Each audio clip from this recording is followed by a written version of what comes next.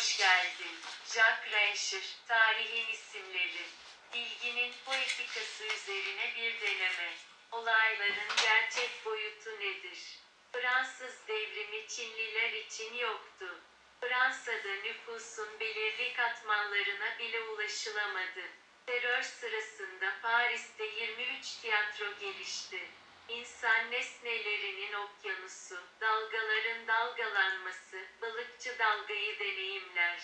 Kıyıya bakan seyirci pürüzsüz bir yüzey görür. İnsan etkinliğinin büyük sabitleri, yeme, gülme, sevme, bilme ve yaratma ihtiyacı.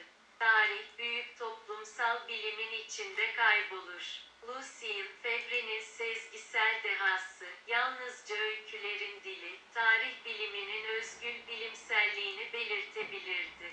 Bilginin poetikası, kendisine bilim statüsü veren ve onu ifade eden edebi incelemedir. Bilgi yazılır ve okunur. Fernand Braudel, 2. Filip'in ölümünü anlatır. Kralın ölümü, kralların tarihin merkezi ve güçleri olarak öldüğü anlamına gelir. Bir karaktere verilen izin. Yeni hikayenin işi oyunu bozmak. Söylem sisteminde bir hikaye oluşturun, stil yapar. Kraliyet kroniklerinin ölümü.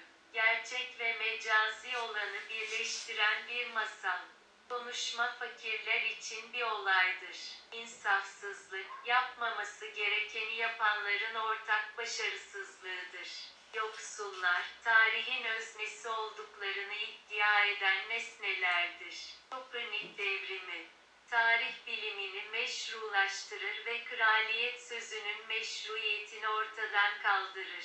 Politik yapı, otoritenin sesine değil, vicdanınızın sesini dinleyin veya tiranları bastırmak doğrudur gibi kalıcı ifadelerle tehdit ediliyor. Durkheim'a göre, yaşamı hasta eden ve ölüme neden olan yaşamın fazlalığıdır. Konuşması tanımı gereği sığdır.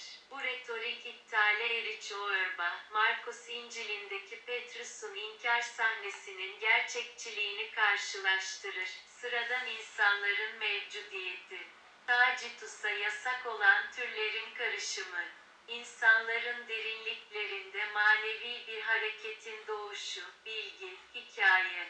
Vergilius, isyana yol açan Romalı bir asker. Sözleri önemli olanlar arasında Tacitus için değildir. Hiç konuşmadan konuşuyor, fiilin sıfır derecesi. Tacitus ile saf bir boşluk olarak kalır. Tarihsel aktörler. Aslında geçmişte kalmış bir şeyle savaşarak geleceği yaratma yanılsaması altında yaşarlar.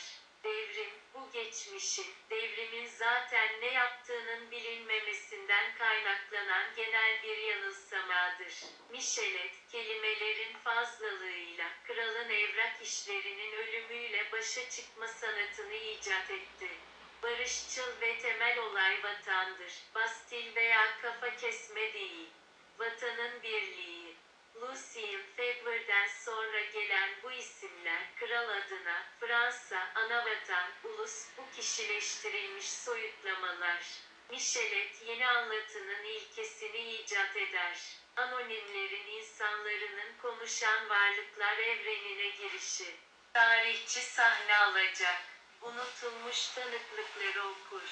Onlar aşk mektuplarıdır. Kalp konuşur. Michelet, yoksulları susturarak konuşturma sanatını icat eder. Tarihçi onları görünür kılarak susturur. Devrimci aktörün söylediği ölüm gibidir. Vasiyet. Gerçek, sayıların ve gerçeklerin doğruluğundan daha fazlasını ifade eder. Kaynakların güvenilirliği. Demokrasiyi gerçeğe dönüştürün. Anlatı. Saçmalığın olamayacağını ortaya koyar, anlamın içkinliğinden söz eder. Logoların amacı toplamaktır. Michelet, gerçek kimsenin kandırmaya çalışmadığı sözlerdense gözyaşlarıyla daha iyi okunur. Adam kendi Prometheus'udur. Kendini mermerden çıkaran heykeldir. Tarihçi, ruhların. Tarihçinin yaşamı geri getirme gücü vardır. Ölümlerinin sırrını bilir. Ölüm ve bilginin bu birbirini izleyen ritminde tarihin kendine ait bir yaşamı vardır. Browden, Akdeniz uzamının kurucu çoğulluğunu tanımlar. Coğrafyacıların Akdeniz'inin tarihçilerinkiyle farkı, zamansallıkların çoğulluğu.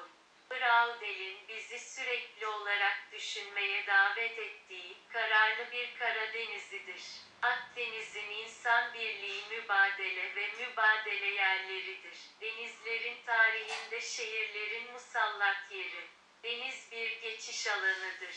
Victor Berar, Ulysses'in izinden yola çıktı. Coğrafya kitapları şiirdir. Berar, bir ömür boyu Odissey'nin manzaralarını aradı. Akdeniz birdir, çünkü yazıldığı gibidir.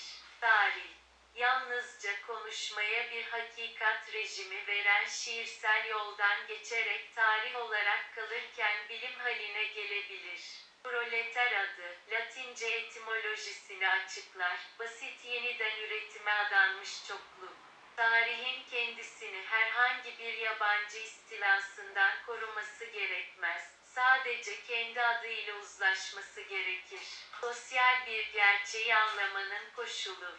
Onu yaratan kişiyi veya bir grup insanı temsil etmek ve onu, belki çok belirsiz bir şekilde tanımlanmış ancak bizim için yeterince bilinen bir psikolojik duruma bağlayabilmektir.